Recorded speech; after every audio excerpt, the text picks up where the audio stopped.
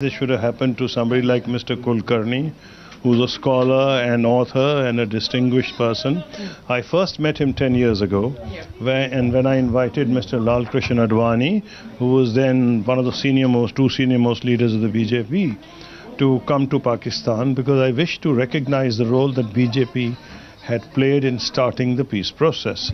So I invited him and Mr. Kulkarni came with him and Mr. we provided an opportunity for Mr. Advani to inaugurate the Katas Raj temple which the government of Pakistan during our tenure uh, was uh, you know restoring and he happened to be there and we in fact made sure that he was there before it was inaugurated.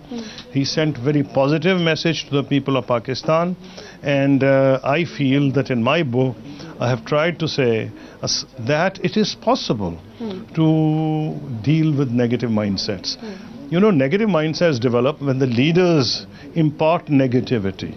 But when leaders act on a positive note, as was happening during our tenure, within a period of three years, we were able to almost you know dissipate poison in people's minds.